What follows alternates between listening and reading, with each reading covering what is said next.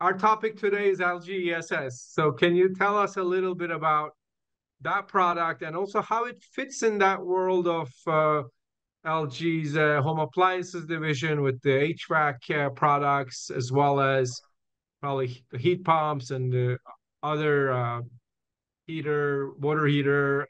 You know, you have a slew of products right. under the home appliances. Um, so, how did LG ESS come to fruition, and what makes it mm-hmm. unique? And All right. Let's talk a little okay. bit about that.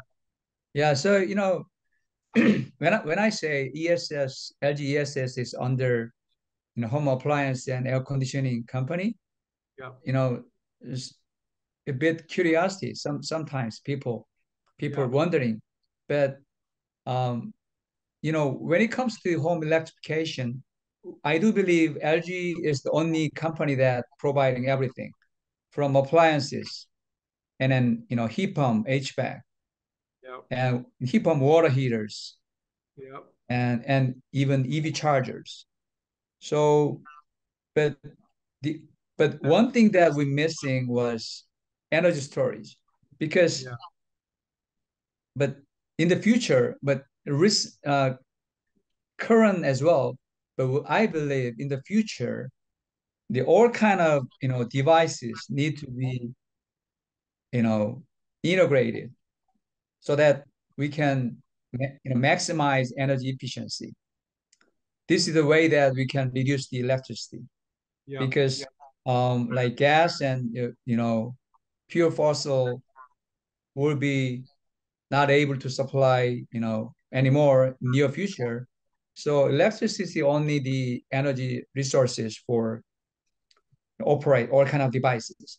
But if we cannot integrate and you know manage properly, it's gonna be disaster. Yeah. So we end up with we need something managed that all kind of devices and technology. That's the LG ESS. So this is kind of hub of our the platform. So yeah.